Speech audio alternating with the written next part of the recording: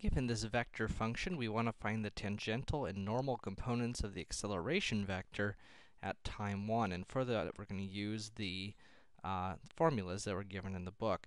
Now, both of these involve the velocity vector and the acceleration vector, so we need to find those. So the velocity vector is just the derivative of the position vector. So derivative of cosine is negative sine pi t and then we got a chain rule times pi, which I'm going to pop out in front there.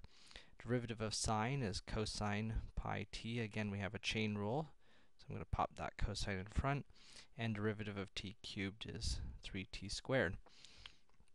Next, we're going to need the acceleration vector, uh, which is the second derivative of our position. And so that's the derivative of this. So derivative of sine is cosine.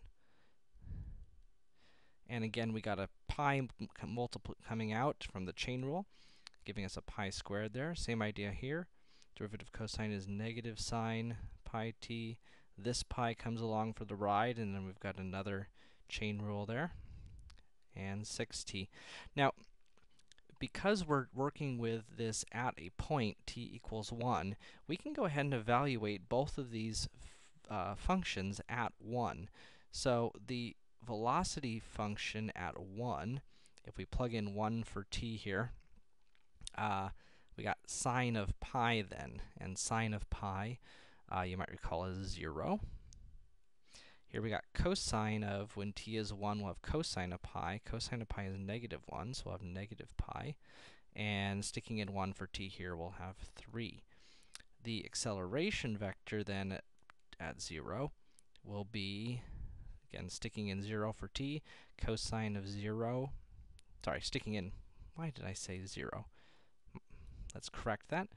We're evaluating at 1 here. Uh, same problem here. We're sticking in 1 for t. Uh, so sticking in 1 in here, cosine of pi is negative 1. Cancels the negative there, leaving pi squared. Sticking in 1 for t here, cosine of pi is 0 and sticking in 1 for t here, we get 6. So there is my uh, velocity vector at time 1 and my acceleration vector at time 1, and now we can start working on these with these formulas.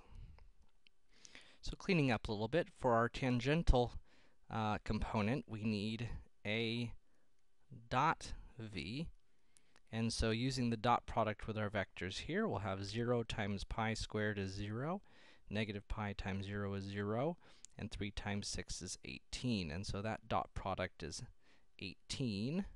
So we got 18 divided by the magnitude of the velocity vector.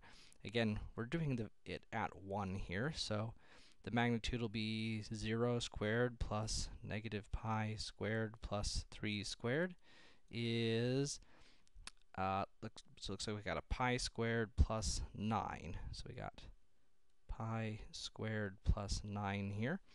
And there is our acceleration, the magnitude of acceleration in the tangential direction. Now for the normal direction, we're going to need the cross product of a and v. And so for that, we can go ahead and calculate out the uh, cross product. So we got negative 0, negative pi 3, pi squared, 0, and 6 here and we can calculate that out. And calculating out the cross product gives us this. Now we need the magnitude of that cross product, which will be, let's see, it'll be the square root of 36 pi squared, that's squaring the first component there, 9 pi to the fourth for the second component, and pi to the sixth for the third one. That divided by the magnitude of v, which we found earlier, gives us the normal component of the acceleration.